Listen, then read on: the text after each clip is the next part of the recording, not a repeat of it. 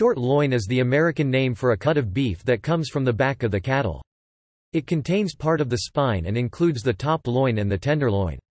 This cut yields types of steak including porterhouse, strip steak Kansas City strip, New York strip, and T-bone a cut also containing partial meat from the tenderloin.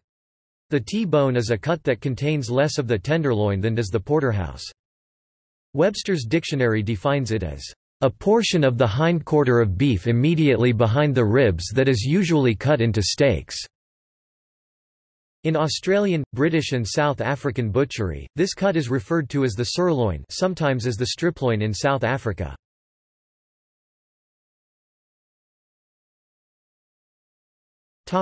See also Food portal